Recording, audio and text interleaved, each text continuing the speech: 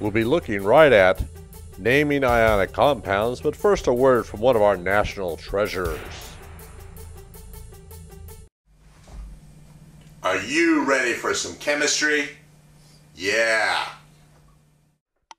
Well, not really. Let's look at some common ionic periodic trends. If we look at positive 1 ions, we would see them coming from group 1 on the periodic table. They would include metals like lithium, sodium, potassium, all plus 1. Hydrogen's over there as well. It's not really a part of group 1, but it has a positive 1 charge. Let's look at positive 2 ions.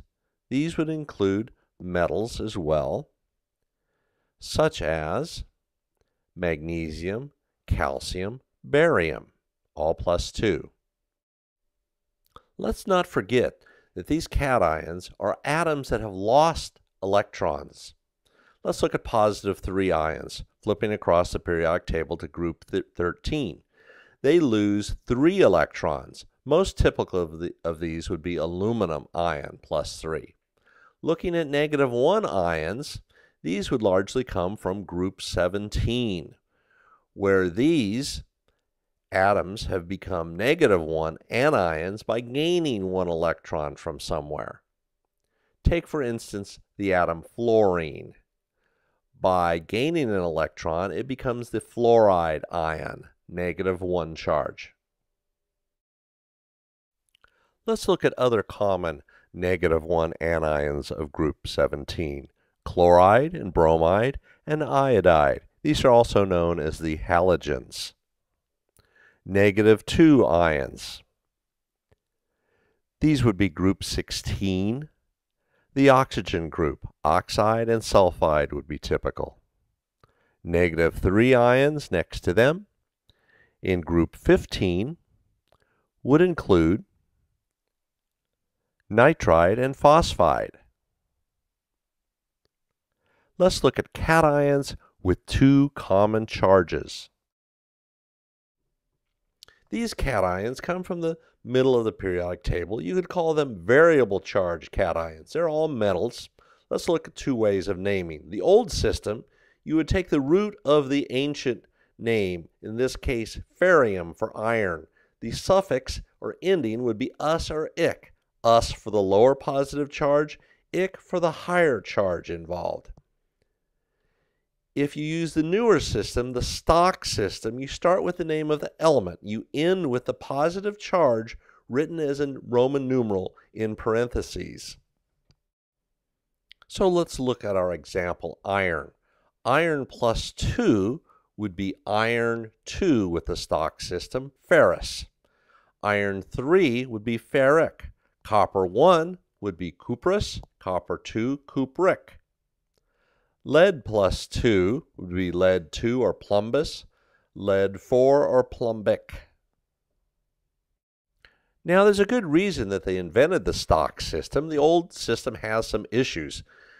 The suffixes, us and ic, don't tell you what the charge of the cation is, and you can't balance an ionic formula without that information. Let's take FeCl3. We know that chloride is negative 1 charge, and there's three of them. So how about the charge for the iron? You just have the one iron ion there. So to balance out the negative 3 of the three chlorides, this particular cation has to be plus 3. Plus 3 minus 3 equals a 0, net 0 charge. So this would be named iron 3 chloride or ferric chloride.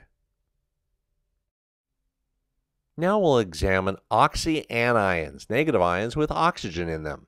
Common oxyanions would be hydroxide negative 1, carbonate CO3 negative 2, chromate CrO4 negative 2.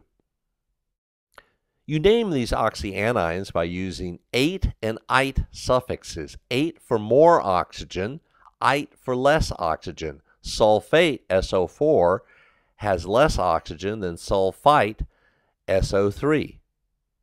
Nitrate, NO3, nitrite, NO2.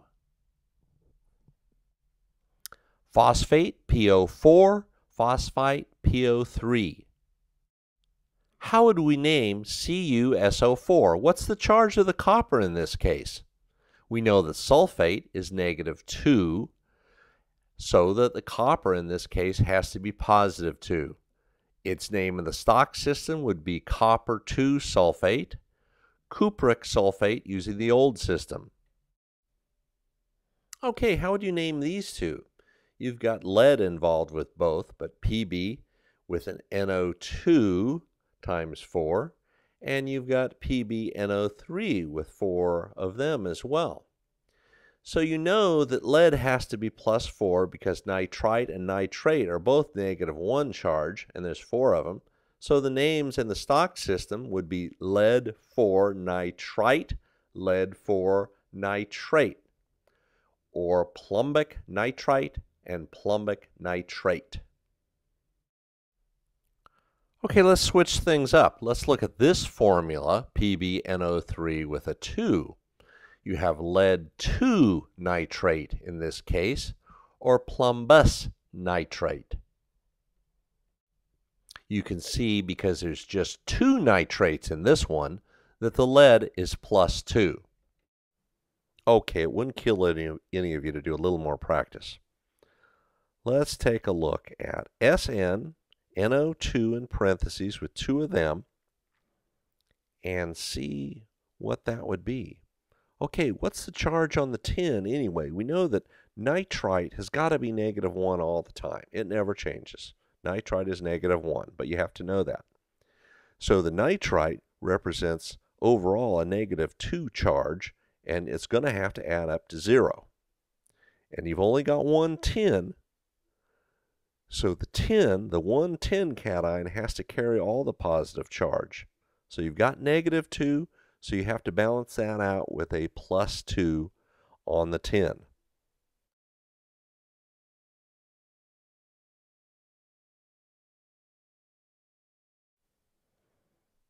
Okay, what would the names be? Uh, the tin has a plus 2 charge, so using the stock system, it would be tin 2 nitrite. Again, nitrite is a given. It's You always know that it's going to be negative 1. The tin is the question mark here. Let's take a look at what the old system name would be. Now here's a disadvantage. Do you know what the charges are for the variable ion tin? Maybe not.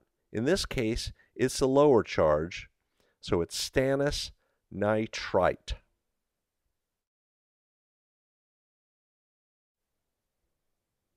Okay, let's look at another one here. Oh, let's take copper.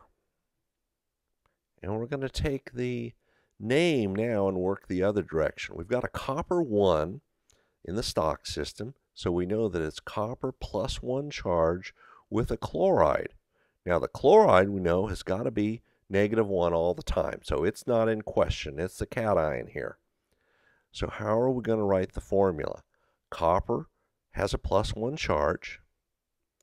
Chloride, again, you know, has a negative one charge. So plus one minus one, really all you'd have to do to balance that formula is lose the plus one and the minus one. It would just be CuCl. And from that, you would know it'd be copper 1 chloride if you know that you have the balanced formula. How do we name it with the old system? Cuprous chloride.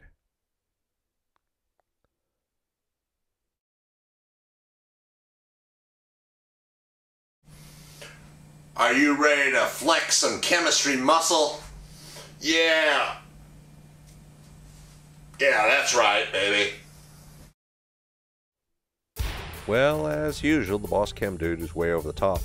But he's got a good point. If you're going to flex your chemistry muscle, it's being able to do the nomenclature, balance the formulas, speak the jargon. So you've got to practice, practice, and practice some more. That's what you've got to do.